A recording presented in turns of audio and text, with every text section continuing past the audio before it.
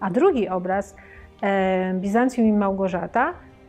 to jest obraz o dwóch środowiskach, które w tej chwili są w konflikcie. Nie wszyscy, nie zawsze, ale akurat jeden aspekt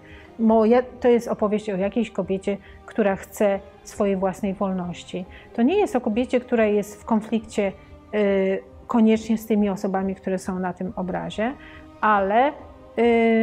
tu jest zachęta dla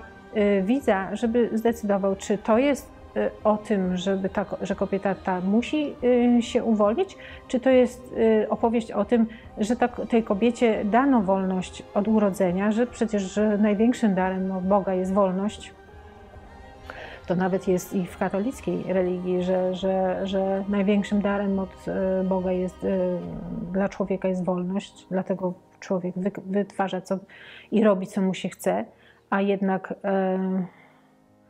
i ona dąży do tej wolności, żeby miała swoje zdanie i mogła swoim życiem po swojemu kierować. Ale czy zamknie tą klatkę, czy y, pozwolą mu te, ją tej klatkę, y, te, tą klatkę trzymać y, otwartą, ale się nawzajem do siebie odwrócą, zwrócą z powrotem, to już jest, to już jest dla każdego y, widza żeby sobie po swojemu zinterpretował.